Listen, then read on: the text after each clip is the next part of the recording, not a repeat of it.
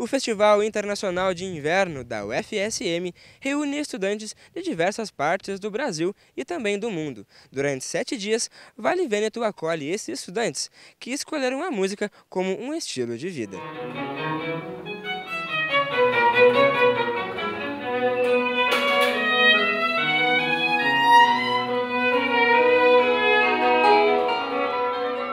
São diversas oficinas espalhadas por vários cantos do vale, com professores conceituados. Os estudantes aproveitam o retiro musical para adquirir mais experiência. Rafael tem 23 anos e nasceu em Cruz Alta. Ele está no quinto semestre do curso de bacharelado em percussão na UFSM. É a quarta vez que ele participa do festival. A gente sempre pode contar com o apoio do, dos professores, a comissão organizadora do festival, a comunidade que nos recebe muito bem, acaba virando nossa família aqui, né? O pessoal serve pãozinho pra gente, cafezinho quentinho. A gente já começa o dia legal, inspirado para chegar lá e fazer a musiquinha, né? O quarto ano que tu participa, então já está acostumado aqui, né? Com a, com a rotina da, de, do festival de inverno, em, na, nos quartos aqui que tu fica hospedado, né? já se sente em casa aqui, né? O quarto ali meio que rola aquela zoeira ali, a galera fica ali tocando um som ali, meio de noite, na madrugada, a gente se reúne no bar da Romilda ali, depois que acontece a janta. Todo aluno que vem ao festival se hospeda em alojamentos, uma boa oportunidade para conhecer outros músicos, fazer amizades e ainda ter o privilégio de contemplar uma bela paisagem pela janela do quarto. Vários colegas aqui no alojamento onde o Rafael está hospedado, eu encontrei o Romeu, que veio do Rio de Janeiro aqui para o festival, participando pela primeira vez. Cara, quantas horas de viagem até Vale Vêneto? Bastante, bastante mesmo. Eu tive que pegar dois aviões e dois ônibus para chegar até aqui. Sabia que? Eu não sabia que era tão longe assim? Já sabia, já esperava já. Eu saí do. Cheguei um pouquinho depois do festival, cheguei aqui na, aqui na quarta-feira. Saí do Rio na terça de tarde, cheguei aqui na quarta de manhã, cedinho. Quais foram as suas primeiras impressões aqui quando tu chegou em Vale Vêneto? Achei uma cidade tranquila, bonita, bem calma, assim, um lugar perfeito para estudar.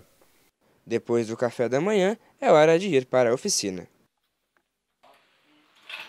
O equilíbrio entre o corpo e a mente é fundamental para quem trabalha com a música. Aquela união entre mente, coração, universo que está em volta, né? As coisas que estão em volta, elas influenciam muito positivamente também que a gente está tocando, né? É no Centro Cultural Rainha dos Apóstolos que acontece a oficina de marimba e vibrafone. O professor responsável pela oficina é o carioca Ney Rosauro. Ele é diretor de estudos em percussão na Universidade de Miami. Depois da oficina, é preciso se preparar para o recital.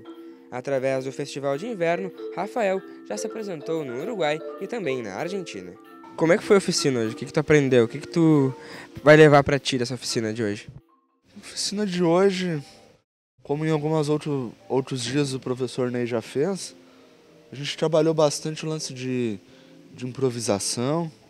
Ele dá uma partitura pra gente com os acordes ali, a gente vai tocando os acordes, fazendo a harmonia dela e criando pequenos solos em cima. O interesse pela música vem desde cedo. Gente, eu me lembro que era pequenininho, minha irmã tocava tarol na banda do colégio e eu roubava as baquetas dela. Com 13 anos eu sentei numa bateria para tocar e eu descobri que eu já sabia tocar.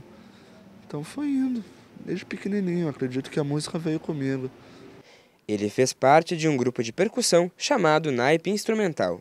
Foi onde eu comecei a tocar coisas de, de teclado, como toquei alguns solos também. A gente tocava músicas, inclusive, do professor Ney, que a gente está tendo as oficinas. E foi um marco bem legal assim na minha vida. Foi quando eu comecei a, a explorar realmente o lance da, da percussão. O que que um o cara que gosta de música, que quer viver de música precisa ter para seguir nesse nesse caminho aí?